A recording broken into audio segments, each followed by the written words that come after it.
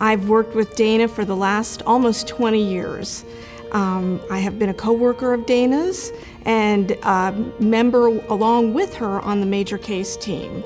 Um, Dana is an amazing asset to our section and not only to our section but to the major case team as well.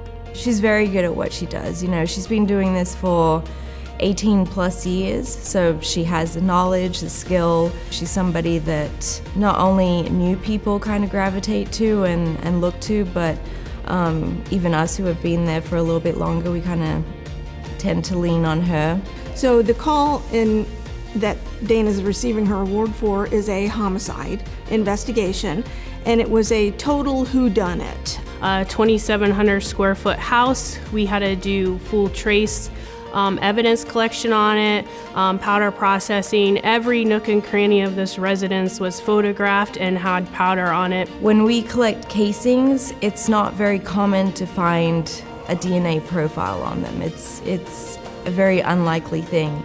Dana was able to extract DNA from the shell casings, and that resulted in a profile that led detectives to a suspect. Once I received the email that she was the recipient of the award, I was ecstatic. I couldn't be more proud of her, um, and I know she's proud too.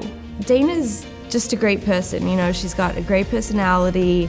No matter what life throws at Dana, either personally or through work, she's an overcomer. She is willing to take the shirt off her back for someone else if they need help with anything. She's there.